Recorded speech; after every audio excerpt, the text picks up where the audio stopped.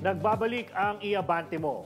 Nakilala si John Cyril Duhailo ng Roa City Capiz dahil sa husay sa pagpinta ng mga obra na kung tawagin ay hyperrealism.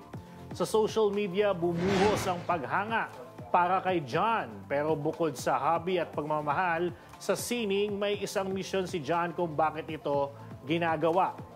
Kamakailan kasi ay sumailalim sa operasyon ng kanyang lola matapos makitaan ng bukol sa kidney. Malaking pera ang kinakailangan para sa operasyon na aabot sa halos 200,000 piso. Kaya, ang, kaya naglungsad ng painting for ako si John kasama ang mga pinsan.